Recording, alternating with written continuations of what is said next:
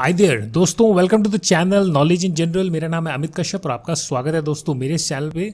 और दोस्तों, आज के इस क्विक एपिसोड में हम ये जानेंगे कि स्ट्रीम यार्ड के अंदर हम बैकग्राउंड जो है एनिमेटेड कैसे लगा सकते हैं। अगर आप मेरी बात सही तरीके से नहीं समझ पाए तो मैं आपको यहाँ सिस्टम पर दिखाता हूँ। कि ये एक स्ट्रीम यार्ड का पेज है जो ब्रॉडकास्ट होता है।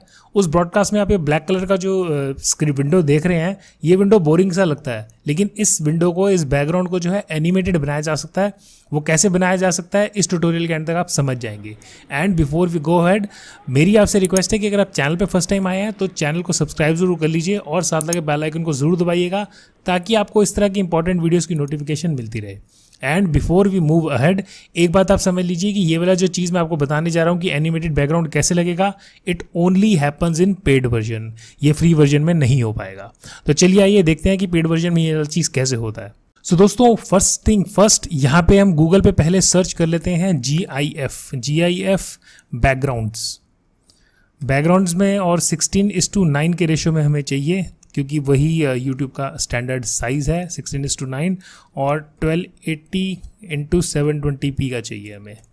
तो ऐसे आप GIF जो है वो सर्च कर सकते हैं। इस तरह के बहुत सारे जी आई वीडियोज़ आपको जो है गूगल पे अवेलेबल हैं, वहाँ से आप डाउनलोड कर लीजिए, जो भी आपको पसंद हो। जब डाउनलोड कर लेंगे तो उसको डिस्क पे कहाँ सेव कर रहे हैं, वो याद रखिएगा।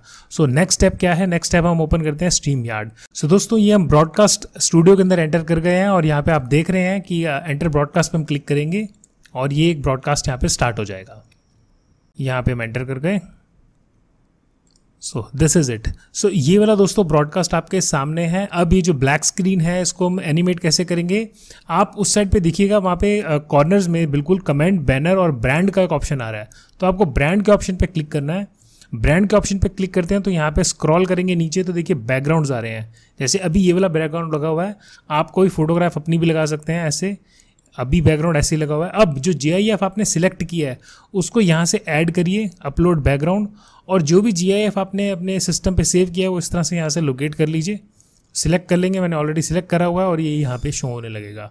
अब मान लीजिए इसमें मैं क्लिक करूँगा तो देखिएगा ये वाला जो बैकग्राउंड है वो एनिमेटेड हो जाएगा। सो so, जी के थ्रू आप इसको एनिमेट कर सकते हैं। This is amazing thing this only happens in paid version so दोस्तों this is all for this video अगर आपको ये वीडियो पसंद आया हो तो वीडियो को लाइक ज़रूर कीजिएगा और चैनल को सब्सक्राइब करना बिल्कुल मत भूलिएगा।